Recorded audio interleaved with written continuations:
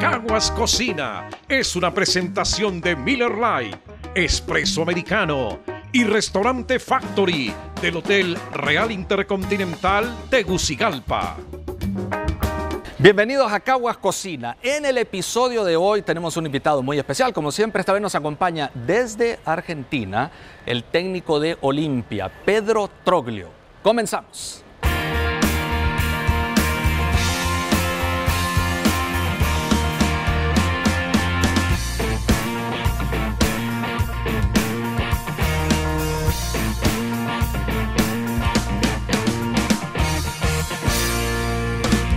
Profe, ¿Qué tal? bienvenido. Encantado. Qué Gracias. gusto. Un placer.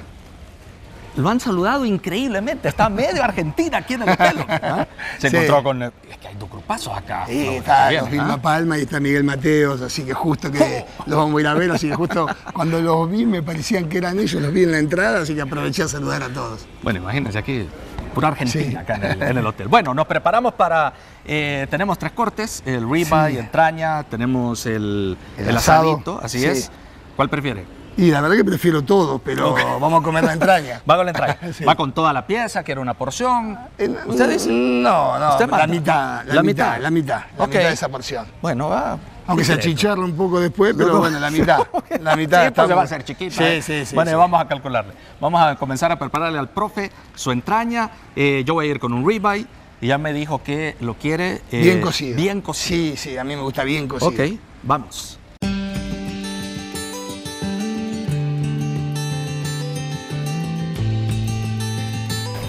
Ahí va chillando. Sí, sí. Va chillando.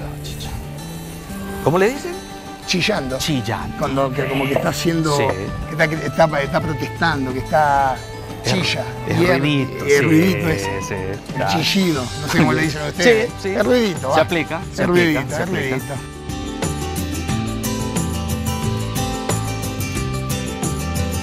Hay más países, Sí. Además de Argentina, con, bueno, Argentina y Uruguay, con esta cultura tan arraigada de, de eso. Sí, yo de creo este que momento. este momento es, sa- es sagrado. Te Sí. digo más. Es decir, el que empieza a hacerla, lo termina, nadie toca. Eh, nadie puede venir. Si vos empezaste, vos terminás de cocinar. Y nadie toca el grito. No, porque además a veces llegan a la casa los que la saben todas. Te, te dicen, che, no, le- no está muy alto, no está muy bajo. Entonces no hay que opinar. Vos tenés que llegar y comer nada más. Luján, uff. El lugar en donde usted nació. Sí, Luján es, digamos, es un pueblo en medio rodeado de todo campo. No sé si ustedes le dicen campo. Sí.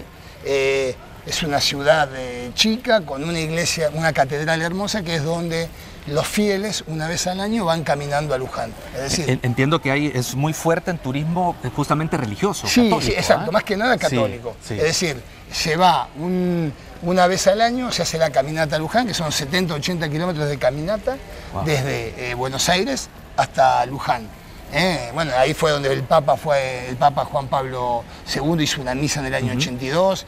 Eh, digamos que, que su cultura es la iglesia, es la catedral, la gente, la Virgen de Luján es, Sí. es inmaculada para todos. Y bueno, después tener lógicamente nuestras cosas, nuestro río para ir a pescar, para ir a, a disfrutar, pero, pero digamos que más que nada la gente va a pedir, va a la catedral para pedir, más que para dejar algo. ¿Y, y- y ya tantos años después mantiene su esencia? Sí, claro, La sí, sí, eh, no cambia. Vos, llegás- vos vas a Luján, que esto lo he hablado muchas veces con el intendente, el que le digo, intendente, seguimos siempre igual, como, todo la, como toda la vida. Y bueno, pero él- es verdad, la gente va y espera ver a Luján así. No, no, Pero, no. pero eso es bueno. Eh, ¿Qué- yo qué- creo que ya es un momento que tendríamos que empezar a progresar, pero, pero bueno, la esencia de la gente lo que quiere ir a ver es, es ir a ver eh, su, su ciudad, su iglesia, su catedral, y los que vivimos ahí estamos, los que eh, yo ya no vivo más ahí, pero toda la familia está conforme ahí. Campesino el pueblo, el pueblo de campo. Eh, es, el- los- todos se conocen, todavía hoy se puede, se puede charlar en la puerta de tu casa con una silla sentado, cuando en Buenos Aires, si estás sentado afuera de una silla, te meten adentro. Es decir, ha cambiado. Eh, Luján todavía sigue manteniendo su esencia. Y bueno, yo tengo familiares, entonces lógicamente vuelvo seguido, tampoco es lejos para mí, porque agarrar el auto, el carro lo agarrás y en, en 50 minutos estoy. Así que voy generalmente a, también voy a pedir, voy a, voy a la iglesia, voy a, voy a, o agradecer también, ¿no? Cuando las cosas van bien, uno no solamente pide, sino que también va y agradece. ¿Qué, qué- qué- qué de- qué es más importante, agradecer o pedir? Yo creo que es agradecer. Sí. que pedir vivimos pidiendo. Lo que pasa es que cuando nos va bien, después nos olvidamos de agradecer lo que nos fue bien. Yo generalmente pido y después cada tanto voy y agradezco, ¿no? Porque uno pide constantemente. Yo veo cuando nos juntamos antes de entrar a una cancha, por favor, ayúdanos hoy, ve, ve, ve, ve, ve. Y después hay que ir a agradecer si salió bien. Lo que pasa es que a veces cuando sale mal decimos, pero, sí, sale, es como que nos quejamos. Pero bueno, es una, una cultura normal el pedir, pero también hay que acostumbrarse a agradecer. Bueno, estamos listos. Bajo un intenso calor que Sí. parece Semana Santa y no es Semana Santa. Pero vamos a disfrutar Vamos con el a profe. disfrutar. Vamos a disfrutar con el profe Troglio de, este, de esta entraña. Así que acompáñenos. ¿Cuál es la pregunta que más le han hecho? Y la que Oh. ya dice usted, ya no quiero que me hagan esa No, pregunta. no, no. Hay una que ya le han hecho, ya no quiero que me hagan ver, esa eh, pregunta. no, la verdad que no. ¿Ah? No tengo preguntas, porque generalmente las preguntas en el jugador de fútbol, en su vida y en el fútbol, rondan en lo mismo. Es decir, cómo fue tu infancia, cómo, cómo fue tu carrera, cómo apareciste en primera, cómo, cómo fue tu vida, eh, cómo eras antes, cómo eras después, cambiaste, no cambiaste. Es decir, las preguntas se basan, no hay muchas preguntas para hablar de la vida de alguien futbolística. A eso y- se le llama la táctica fija del periodista. Exacto. Es la táctica fija. Pero ¿sí es que no hay otra, ¿qué vas a preguntar? No, claro que hay muchas más. ¿ah? Sí, bueno, hay de todo, cada, ca- lógicamente que vos podés hablar de todo, pero digamos las comunes me las siguen haciendo Sí. y no me molesta, no me molestan contestarlas porque son parte de mi vida Sí. también, ¿no? Profe, me habló de, de sus padres eh, y- y mencionaba en algún momento que son, son, longevos, Y una mi, mi vida papá, larga. mi ¿eh? papá cumplió 95 años y mi mamá 92. Como que mi papá ha venido siempre con, con problemas del corazón y hoy, y hoy está con esta enfermedad que es el Alzheimer, donde Uf, ya terrible. hace dos años ya desconoce a todos. Solamente ve- conoce a mi mamá y, y nosotros porque sabe que le decimos que somos los hijos, Sí. pero no- él no tiene recuerdos. Es un Él tiene- reto, ¿ah? Él, él reto. vuelven para atrás, él tiene recuerdos como, él habla de su mamá y de su papá. Ok. Es increíble. Pero, y eso, y eso daña, más allá de que sabemos, hace daño, ¿no? Ver a tu papá así. En cambio, mi mamá tiene 92 años, nunca entró a una clínica, a un hospital, cocina, se mete en computadora, hace videollamadas conmigo. eh, mi mamá es increíble, sí, es increíble. Todos sabemos que en algún momento de su vida Pedro Troglio estuvo clínicamente Sí, muerto, eh, peritonitis y, y- y fue fuerte. ¿Tiene algún recuerdo de ese, de ese instante? Mira, yo tuve una sensa- un sueño, Sueño. para mí, como que yo estaba en el aire y veía, me veía en el lugar donde yo estaba, que era una terapia intensiva con dos este, Sí. cortinas y yo solo, porque en, en terapia intensiva estás todos juntos en el mismo lugar. Y yo veía a mi papá, a mi mamá y a mi hermano alrededor mío. Pero ellos no estaban. Claro, nunca, pero nunca pasó esa situación porque en terapia intensiva entras de a uno. Ok. Entonces, Sí. no, si hubieran estado en algún momento los tres, Ahí sí. hubiera creído Sí. que fue ese momento. Ya se iba, Ya, ya se estaba. iba. Pero sí recuerdo, estuve, vos calculás que yo estuve desde el 9 de julio que me pasó esto, que siento, juego un partido de fútbol en la reserva de River y recibo un codazo en un partido y poner al otro día empecé con la descompostura, con el problema ahí. Del 9 de julio hasta el 16 de septiembre estuve internado, grave. Pero ¿qué es lo que qué es lo que recuerda de eso? Ahora que lo piensa tantos años A- después, A ver, ¿qué, qué es el sabor que, el, que tiene? el- el dolor, el, Sí. el sufrimiento. Yo sufría todo porque era, era primero cuando me, me descompongo, por primera vez en mi vida, amanez- eh, me despierto y estoy tirado en el baño con mi hermano y mi, ma- y mi papá que me están tratando, me había desmayado, yo nunca en mi vida me desmayé. Esa fue la única vez en mi vida que me desmayé. Entonces ya ahí estaba asustado.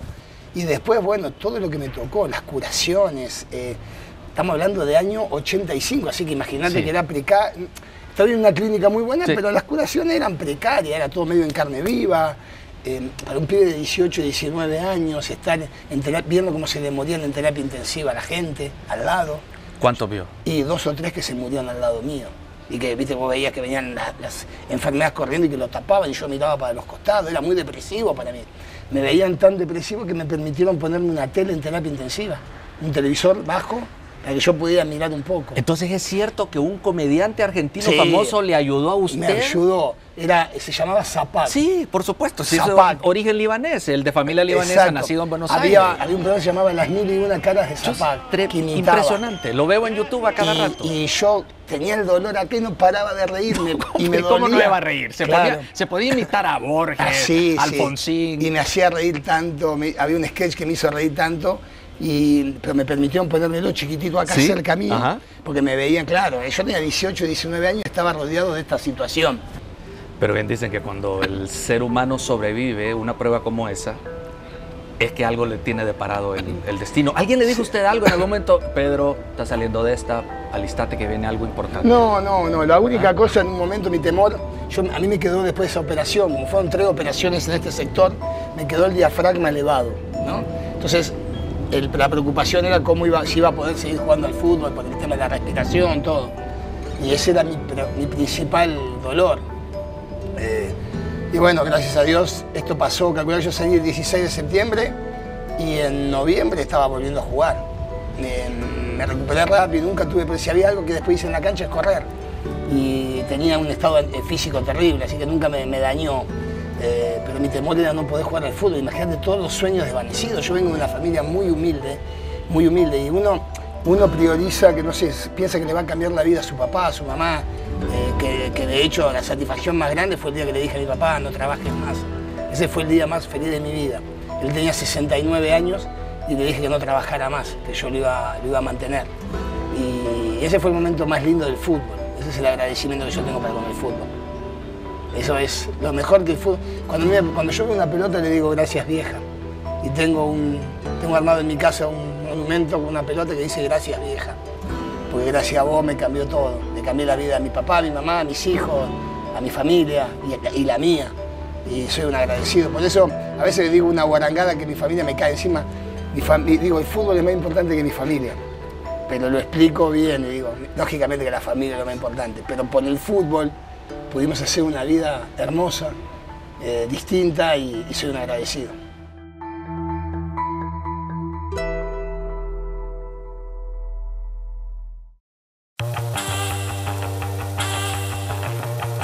Esta es la original cerveza Light. Elaborada por más de 40 años con la convicción de que una cerveza puede ser light y tener gran sabor. Por eso, cuando los buenos momentos piden una cerveza light con sabor verdadero, no hay otra mejor. Mantente auténtico. Miller Light. Este es tu día Este es tu momento de ser feliz ahora.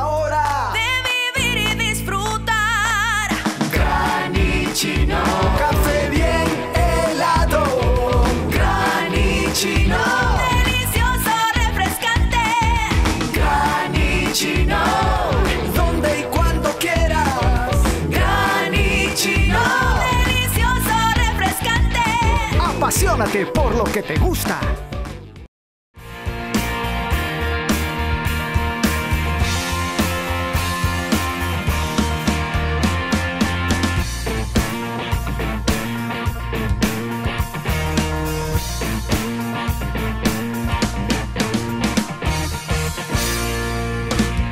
Bueno, yo por ejemplo, mi hija de 30 años, la conocí, yo jugaba en la Lazio, en Roma. La conocí 35 días después que nació. Viste que hoy los jugadores dejan de jugar y están en el parto. Bueno, yo la conocí 35 días después. Y encima era la época que no existía el teléfono, el celular. Año 89. Entonces estaba esperando que al correo llegaran las fotos que le habían sacado. Entonces vos calculás que ponele que habrán tardado 10 días esa foto, 12. ¿Sabés la emoción con la que voy al correo ese día para ver las fotos de ella? Eh, y después no estuve en bautismo, en comuniones, porque uno, ¿qué, pa- qué pasa? Armabas una comunión o un bautismo y te cambiaban el partido para, bueno, si yo, yo lo saqué para el domingo, que jugaba el sábado, se suspendía y lo pasaban para el domingo, Sí. chao, todo armado, Y yo nada. no podía ir. Pero bueno, pero también es como digo yo, hay muchos padres que están presentes, pero que Y no, no pueden, están. y no pueden hacerle nada. Sí. Entonces todo también tiene, lógicamente, sus, sus costos, ¿no? Si no es muy fácil. Hay padres que no llegan a ni siquiera a comprarle al, al hijo el día de la comunión, capaz que no le pueden hacer ni las tarjetas de comunión o de bautismo.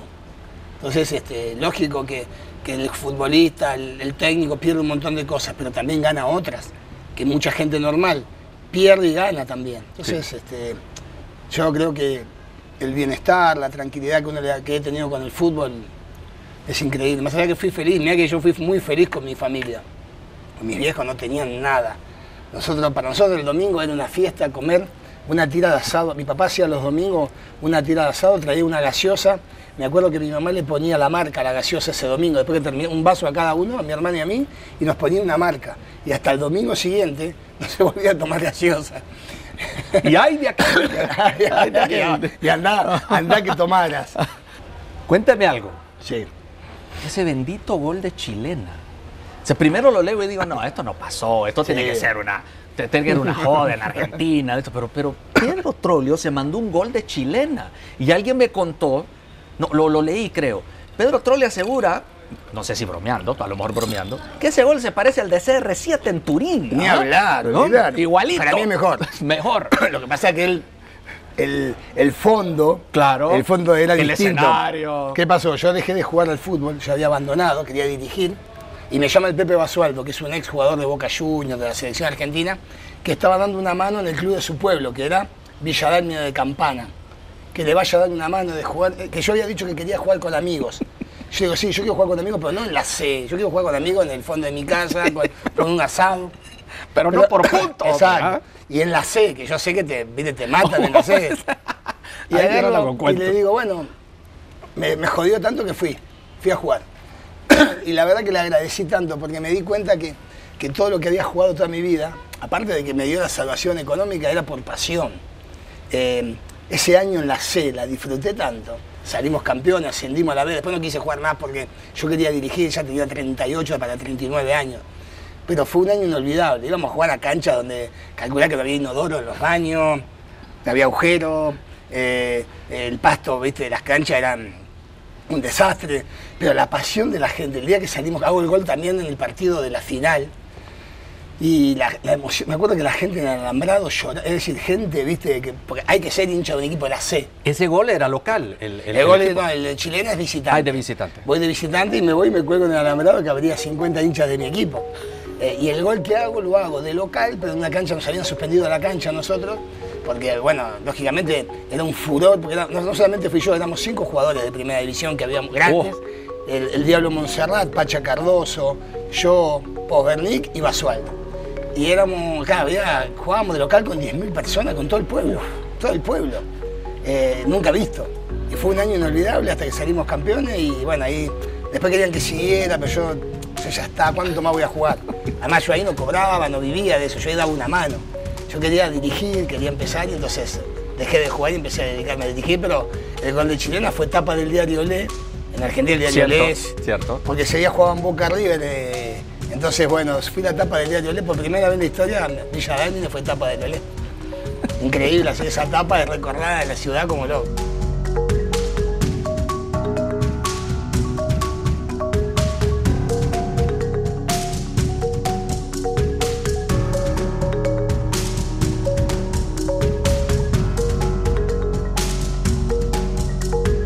Pero al final, en el, en el fútbol,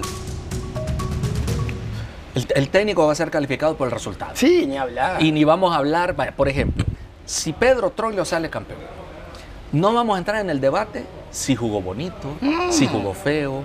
Ahora me estaba acordando de una de las, de las parodias que hizo en, en las mil y una.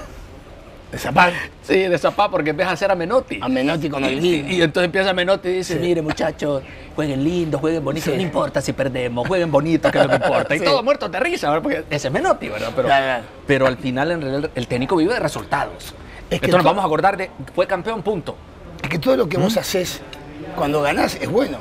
Por ejemplo, un cambio de un jugador que vos lo haces hoy y ganaste, ¿qué sale mañana en todos lados? Muy bien los cambios. El domingo siguiente, vos haces el mismo cambio y perdés. Y te dicen, se equivocó en los cambios. Y es el mismo jugador que entró y que te salvó hoy, que, va a entrar y a veces va a jugar bien y a veces va a jugar mal. Es decir, uno hace los cambios pensando en lo que armó y lo que tiene armado. Pero no es fácil. Eh, eh, y, y yo sé cómo es esto. Si soy campeón, todo lo que se dijo y que hicimos, hasta lo malo va a ser bueno. Ahora, en cambio, si no salgo campeón, aunque haya hecho todo bien, va a estar todo mal. Me vas a encontrar todo lo- lo- todos los defectos, me vas a encontrar. Y las virtudes pocas. Si gano, voy a tener más virtudes que defectos. Esto es así. Eso es cierto. Y no hay otra. Pero yo ya lo sé. Si no, no me hubiera venido hasta acá, ¿eh? Me hubiera quedado en Argentina esperando que me salga algo. De última que me putearan en Argentina, pero estaba con mi familia. Yo acá estoy solo, alejado de mi familia. Me gustó, viste, el venir a otro país, a abrir un nuevo mercado, potenciarme hacia arriba, porque nosotros, yo estoy acostumbrado a la Conmebol, Sudamérica. Esto era como abrir un nuevo mercado y venir a, a conocer un nuevo fútbol y, y la verdad que estoy, estoy feliz donde estoy. Estoy cómodo, estoy bien. A veces voy a decir, no, no quiero perderme. de-". Yo cuando fui a Japón, mi problema era, uy, me voy de lo deportivo, me alejo de la selección. Y en un momento dije, tengo 29, 30 años. ¿Cuánta vida útil me queda para seguir generando? Yo no sabía que iba a ser entrenador. Mi vida futbolística, vos calculás 34, 35 años, se termina. Es lo que, es lo que generás. Porque el día que dejás el fútbol, esa puerta que se te abría siempre en todos lados se cierra. Empezás a hacer cola en los bancos.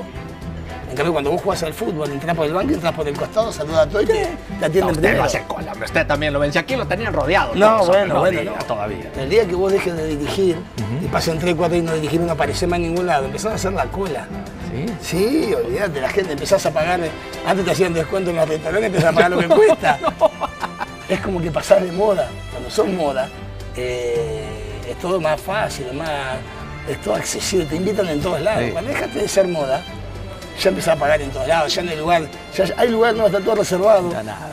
es así. Si querés mañana o pasado. Sí, sí, ¿no? es, es- es- es muy chocante y muy evidente el cambio. Por eso yo creo que, que el jugador de fútbol es más inteligente. Nosotros en nuestra época priorizábamos lo deportivo y muchos jugadores han dejado de pegar ese salto económico para quedarse en su club, para que la gente esté contenta. Y el día que empezaste a jugar mal porque te empezás a poner viejo, ya la gente se olvida que eras buen jugador y la gente ya no te perdona. Al quinto partido te está insultando. La gente es ingrata en ese sentido. Vos fuiste ídolo, pero ya sabes, bueno, pero sería mejor que ya te retires, por, ¿viste? porque te, te vas a hacer insultar. Y vos capaz que hace cinco años dejaste una, una situación económica terrible para no, para no dejar el club. Y un día entonces te, te echan, te tenés que ir. ¿Me entendés? Ese es el tema. Por eso hoy los jugadores son más inteligentes. Entonces dicen, bueno, ya está. Vamos por el salto económico, que se enojen, no importa. Y, y aseguran su vida y de su familia. Que no está mal, ¿eh?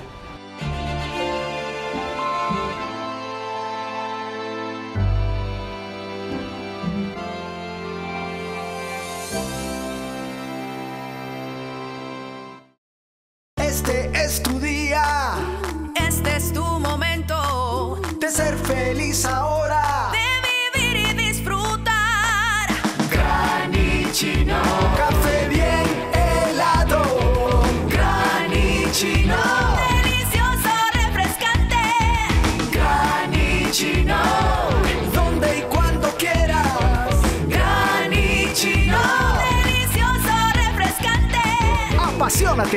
que te gusta.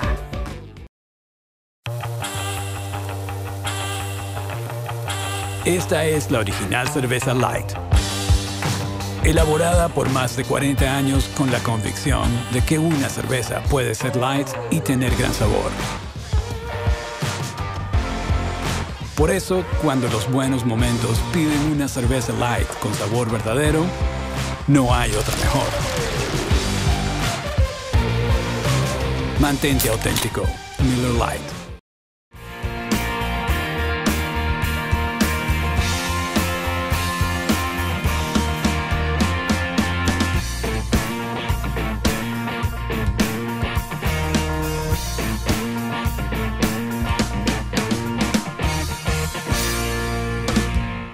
Estaba viendo que usted guarda de manera muy ordenada y, y celosamente una colección de camisetas, Sí. de recuerdos.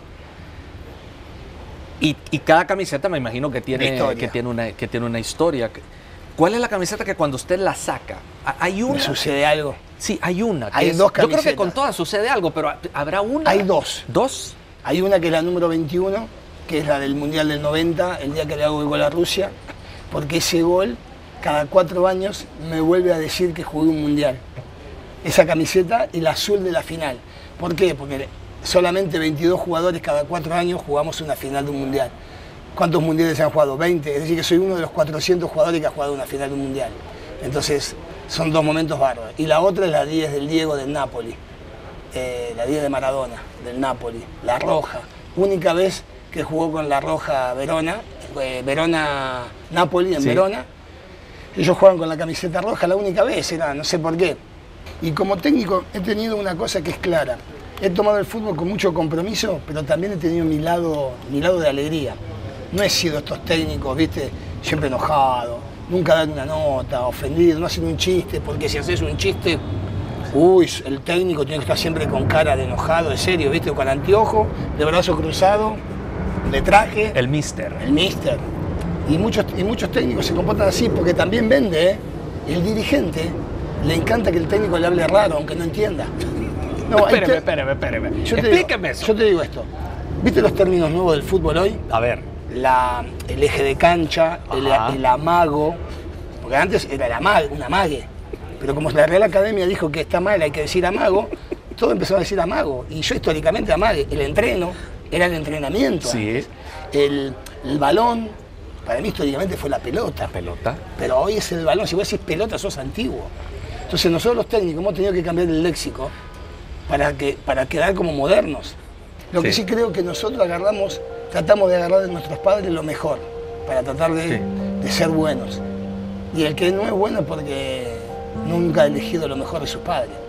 Yo, yo traté siempre a mi papá como buscando un espejo de cómo era él, para tratar de copiar. Y bueno, esperemos que, que mis hijos puedan copiar lo bueno mío también y no, y no lo malo. Eso a veces es también contraproducente.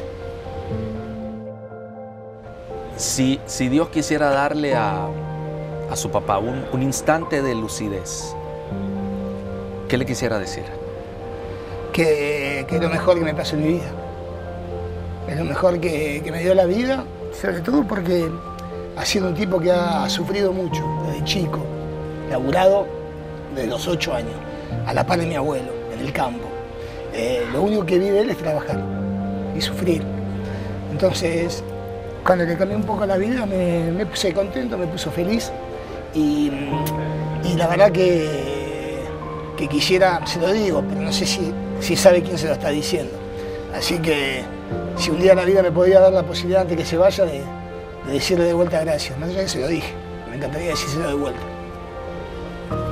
Dios quiera que un día pueda. Dios quiera. Muchas gracias. Gracias.